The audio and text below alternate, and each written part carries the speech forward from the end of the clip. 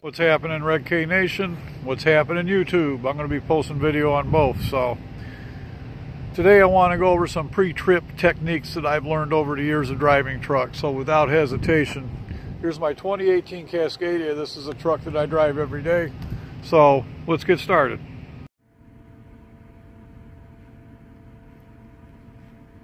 Alrighty, so for our pre-trip inspection, the first thing we're going to look for is to make sure all of our forward-facing lights, marker lights, turn signals, high beams, low beams are on. You want to make sure the truck isn't leaning to the right or left, which could indicate a suspension problem. You're going to want to look underneath. Make sure there's nothing dripping, hanging, anything like that. As you're walking around, you want to make sure that all your lights are working. You know, your tread depth should be 430 seconds. 430 seconds for your steer tire, 230 seconds for your drive and trailer tires. So you should use a tire gauge on these to make sure your tread depth is correct. You also want to look at the front of your trailer to make sure your trailer's intact, there's no damage to the frame rails, the skid plate, anything like that. Make sure your lines are hooked up, they're good and tight. Make sure you got your red knob pushed in. This will help you detect air leaks. Want to look underneath, you want to check your skid plate, make sure it's in one piece, make sure there's nothing missing.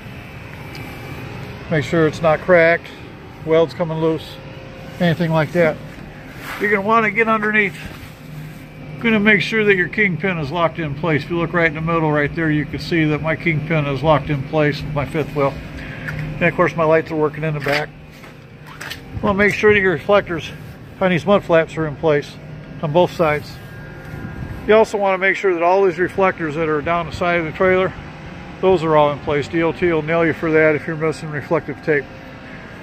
You want to check your landing gear, make sure that there's nothing missing, cracked dents, you know, anything out of the ordinary. And while you're under here, look at these ribs underneath your trailer, part of the structural support of the trailer.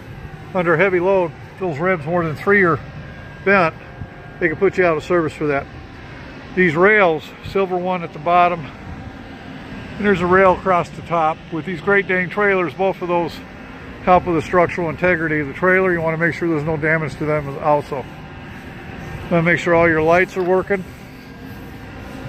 And again, 230 seconds tread depth on your trailer tires. You want to get under here make sure both your pins are locked in place, which they are. Make sure there's no visible air leaks. Make sure that this, uh, the air lines that are dangling here, make sure that those are attached by springs, make sure they're not touching the ground.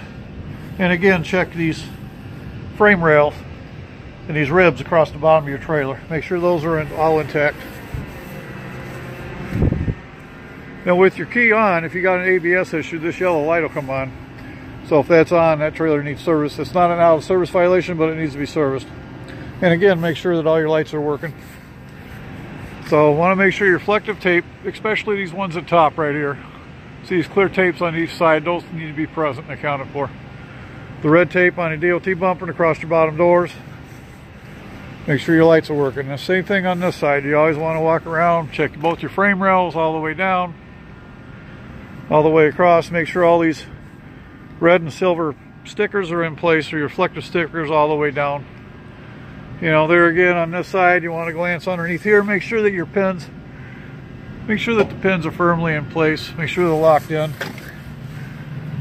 So, which you can see, they both are pop, popped through and they're locked in. So, and again, your tread depth, 230 seconds, or yeah, 230 seconds on your drive tire, trailer tires, 430 seconds on your steers.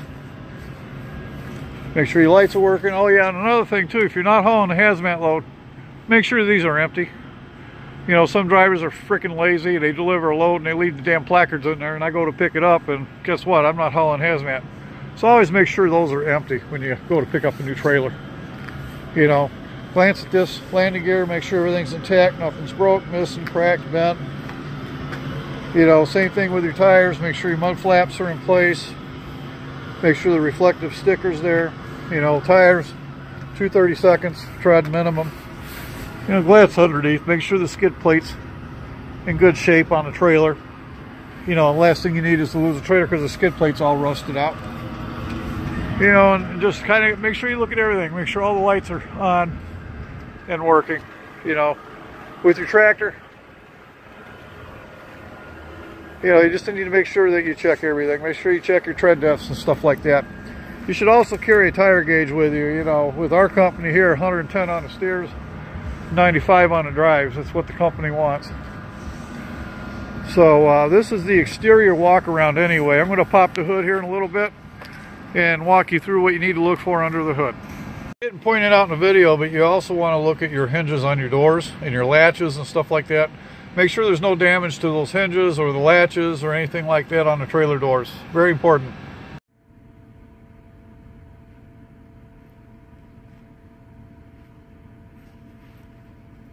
All right, now we're going to check under the hood. So first of all, you want to unlatch both of these.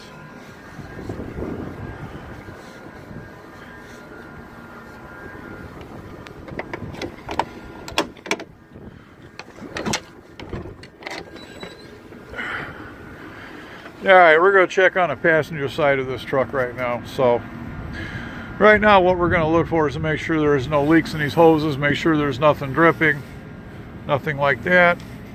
You're going to visualize everything under here. You want to look at your brakes. Um, I have automatic slack adjusters, but if you uh, push in your yellow knob and you go to pull this back, you should have no more than uh, about an inch and a half to two inch movement on this uh, slack adjuster. But with automatic slack adjusters, you really don't have to do that. Some of the older trucks you do. Now I can't really show you how to look for your uh, your brake pads because I got dust covers on this truck and uh, I'm a company driver. They usually take care of that. So I usually don't really look at the brakes any unless I got an issue. But you want to look at your water lines, your hoses, make sure nothing's leaking. You want to check the tightness on this belt. There should be no more than half an inch when you pull on it. I think an inch is, is the most you're allowed slack. But you want to make sure you just look at everything, look at your frame rails, your suspension, shocks, make sure there's nothing broke, missing, cracked, bent. And then you want to do the same thing on the other side. On the other side, you know, you want to look at all these air lines coming out of here. Make sure there's no leaks, make sure everything's intact, there's no chafing, there's no cracks, no leaks you know, under everything. So you want to look at your uh, power steering pump, make sure it's full, or your reservoir, should say. Want to look at these lines too. Make sure these lines aren't leaking anything. You know, look underneath. Make sure there's nothing dripping on the ground. All that stuff's an out of service violation. Now, I'm running a DD15 engine in this truck, so one of the things you want to do is you want to check the oil. That's where you check the oil at, make sure it's full. Now if it's down on the empty mark, which I'll show you, but if it's uh, down at the minimum mark, and I just shut my truck off so that's not an accurate, but that minimum mark means it's a gallon empty, so my company doesn't even want me to touch it until it gets to that minimum mark and then they want me to put a full gallon in there. So I'm not going to worry about that right now. You know, make sure your antifreeze is full too with these trucks when they get down low they'll shut off so and then that's of course where you put the oil in but at any rate you just want to make sure everything looks hunky-dory under here and uh, you know you want to check like again like I said you want to check your brakes. If you can look at the pads you want to make sure you still got enough thickness on the pads which I really can't because they got dust covers on this truck so it's kind of hard to look at I'm not crawling on the ground so. But that concludes under the hood for the most part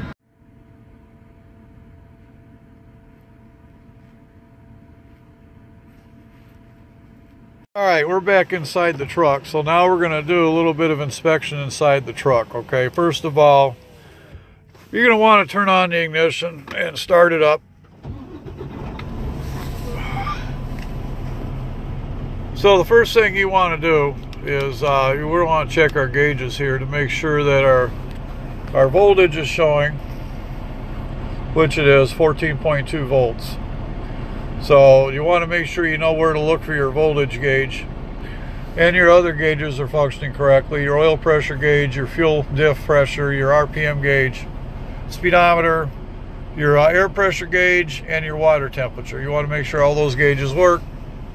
You want to make sure that everything's, you know, lit up. So the first thing I'm going to do here is I'm going to put on my four ways because you want to make sure that both of these lights come on, which they do. You can see that right there both four ways come on Alrighty, then you also want to check your steering. You want to make sure there's no slack in your steering wheel. Make sure it turns freely. So as you can see, my steering wheel does pretty good. If You want to turn on your windshield wipers. Make sure your diff, your washer fluid works. So that's something they're going to look at if they ever DOT inspect you.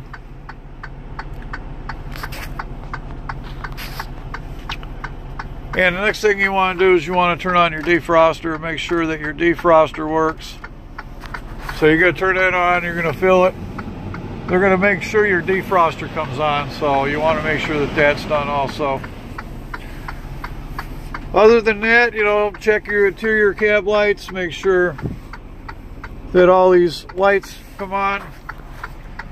So as you can see, all my lights are working up there. So, you know, especially driving a company truck, you want to make sure that all this stuff works.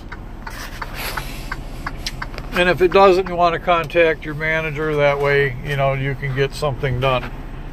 You know, your driver manager, or if you're one of those lease operators, well, I guess you're stuck doing it. One last thing I almost forgot to tell you that you need to check is make sure that your city horn works. And then make sure that your air horn also works up here. So make sure both of those work because uh, DOT will look for that also. And you need both of your horns to function. Well, this concludes the uh, pre-trip inspection part of my video. Um, I hope this taught you something. Um, just different things that I look for. You know, I, I need to buy a tire, you know, tread depth gauge but really, if you take a nickel and if you get to Lincoln's nose, that's at about 430 seconds close. So you can check it like that. You know, just make sure you got good tread on your tires. When you're looking at your tires also, look at the insides of the tires. Make sure there's no bulges, no rips, no tears. Um, you'd be surprised driving these big rigs. You know, you, you pick up crap in the tires, don't even know it, or you'll somehow they'll rip a piece of tread off and won't even know it. You know, a lot of these companies use recap tires. So, you know, they're not allowed on the steer, but they are allowed on the truck and on the trailer, you know, on the drive tires and trailer tires. So, you know, you want to look at the sidewalls of the tire, make sure that, you know, the tread and uh, the, the sidewall of the tire is not separating. Um, if they are, you need to contact your, your fleet manager or whatever, try to get road service out to replace that tire before you have a blowout going down the highway. And uh, when you have a blowout, you know it because them damn things goes they go off like cannons. So I hope you all enjoyed this video. Um, today's hump day. It's Wednesday.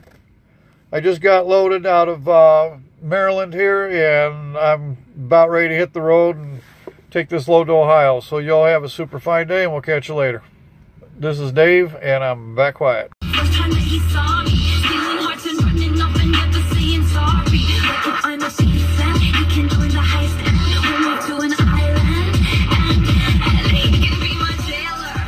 Thanks for watching, everybody, and have a great day.